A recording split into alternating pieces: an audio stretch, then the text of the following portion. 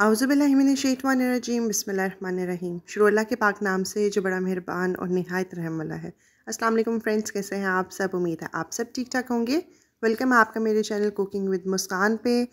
आज हम बिल्कुल ढाबा स्टाइल, रेस्टोरेंट स्टाइल जो है वो लच्छा प्याज का सलाद बना के रेडी करेंगे, जिसके मसाले काफ़ी यूनिक हैं, काफ़ी सिंपल है, बहुत ही ज़्यादा फ्रेश बनेगा और जो है वो थोड़ा थोड़ा सा आपको ऐसा फील होगा कि जैसे ये क्रंची सा है।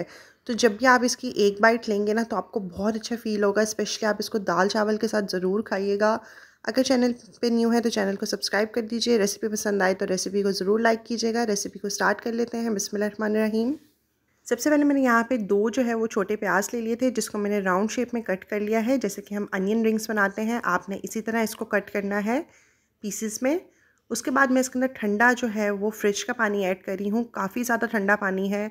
अच्छा जी ये वाला स्टेप इसलिए इंपॉर्टेंट है ताकि जो प्याज है वो ज़्यादा देर तक जो है वो ताज़ा रहे मतलब कि ये क्रंची सा रहेगा और आप जब भी इसको खाएँगे आपको ऐसा फील होगा जैसे ये फ्रेश है।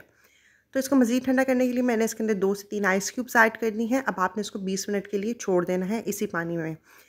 जब ये अच्छे से 20 मिनट हो जाएँ तो आपने इसको किसी स्ट्रेनर की मदद से या फिर किसी टोकरी में आप इसको जो है वो निकाल लें और इसका पानी जो है हमने अब वेस्ट कर लेना है।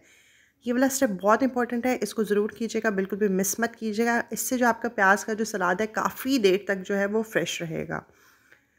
उसके बाद मैंने पानी को अच्छे से रिमूव कर दिया है, प्याज़ों का पानी भी निकाल दिया है। उसके बाद दो पिंच हम इसके अंदर जो है वो नमक ऐड कर देंगे और दो पिंच ही, यानी कि टू पिंच हम इसके अंदर काला नमक ऐड कर देंगे। वन फोर्थ टी स्पून मैं इसके अंदर ज़ीरा पाउडर ऐड करी हूँ, जिसको मैंने मोटा मोटा सा कूट लिया था। और वन फोर्थ टी स्पून ही हम इसके अंदर चाट मसाला ऐड कर देंगे। इसी के साथ वन फोर्थ टी स्पून से थोड़ी सी कम मैं इसके अंदर लाल मिर्च का पाउडर ऐड करी हूँ, क्योंकि समटाइम्स होता है कि लाल मिर्चें किसी की तेज़ होती हैं, किसी की कम तो आप वो अपने टेस्ट के अकॉर्डिंग ऐड कर सकते हैं। हाफ़ में इसके ऊपर लेमन जो है वो अच्छे से स्क्वीज़ कर रही हूँ, यानी कि आपने इसके ऊपर लेमन ऐड कर देना है हाफ़ और उसके बाद हम इसके अंदर थोड़ा सा हरा धनिया ऐड कर देंगे। इससे ये होगा काफ़ी ज़्यादा फ्रेश लगेगा और बहुत ही देखने में भी अच्छा लगेगा और खाने में भी। बस यहाँ पे हमने इसकी सिंपल सी मिक्सिंग कर लेनी है। मिक्सिंग के बाद आप इसको जो सर्व करें। इतना ज़बरदस्त और हेल्दी और बहुत मज़े का बन के रेडी हुआ है ना कि आप यकीन करें, आप इसको एक दफ़ा ट्राई करें इन आप रोज़ बनाया करेंगे। So friends I am sure आपको मेरी ये रेसिपी ज़रूर पसंद आई होगी। अगर आप सबको मेरी ये रेसिपी पसंद आई है तो मेरे चैनल को सब्सक्राइब कर दीजिए बेल आइकन को प्रेस कर दें।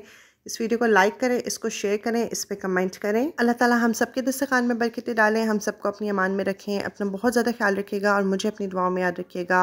इंशाल्लाह फिर से मुलाकात होगी एक न्यू वीडियो के साथ। Thanks for watching my video Allah half